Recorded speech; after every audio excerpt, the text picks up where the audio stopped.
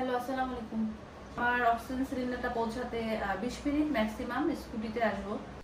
শেখ সুহানা ইসলাম, পেশায় আইটি বিশেষজ্ঞ হলেও বর্তমানে করোনা অতিমারিকালে নিজেকে নিয়োজিত করেছেন মানুষের সেবায়।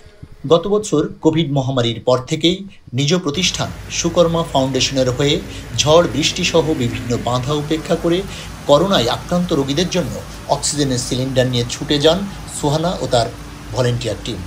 জনবসতির মধ্যে গেলাম, তখন দেখলাম যে না, যারা কোভিড আক্রান্ত হ্যাঁ যাদের শ্বাসকষ্ট শুরু হচ্ছে, তারা কিন্তু হসপিটাল পর্যন্ত পৌঁছাতে পারছে না। তো তখন আমার মাথায় আসলো যে না এদেরকে আসলে অক্সিজেন সাপোর্টটাও দিতে হবে। হুম, তখন আমি দুইটা মানে আমার নিজের টাকায় দুইটা অক্সিজেন সিলিন্ডার নিয়ে সাপোর্টটা দেওয়া শুরু করলাম। সময়ের প্রয়োজনে মানুষের পাশে দাঁড়ানো উচিত বলে মনে করেন সুহানা। স্টার্ট কিন্তু এরকম বয়স্ক দিয়েই শুরু হয়েছে যে একজন বাবাকে যখন দিলাম, ওনার ছেলে মেয়ে হয়তো দেশের বাইরে থাকে।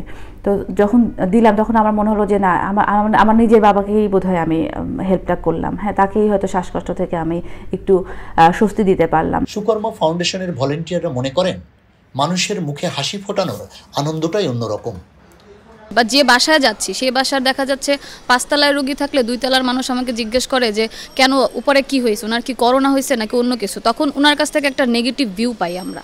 তো এই সমস্ত কিছু নেগেটিভিটি যখন আমরা ক্রস করে সেই লোকের কাছে বা সেই মানুষের কাছে অক্সিজেন সাপোর্টটা পৌঁছায় তো ওটার যে একটা স্যাটিসফ্যাকশন আমাদের কাছে আসলে ওই জিনিসটা অনেক বড়। যখন আমরা ট্রাফিক জ্যামে পড়ি, তখন অনেক আইন শৃঙ্খলা বাহিনী আমাদের জিজ্ঞাসা করে যে, এটা কোথায় নিয়ে যাচ্ছ?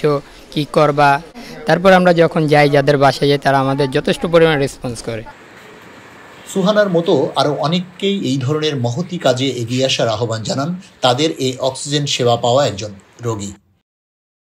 আমি অনেক উপকৃত হয়েছি যে আমাকে আজকে যে এই সাপোর্টটা দিয়েছে এবং টাইম টু টাইম আমার খবর নিয়েছে স্বাস্থ্যের খবর নিয়েছে আমি কেমন আছি সেটা জানতে চেয়েছে এই জন্য আমি ওদের কাছে কৃতজ্ঞ।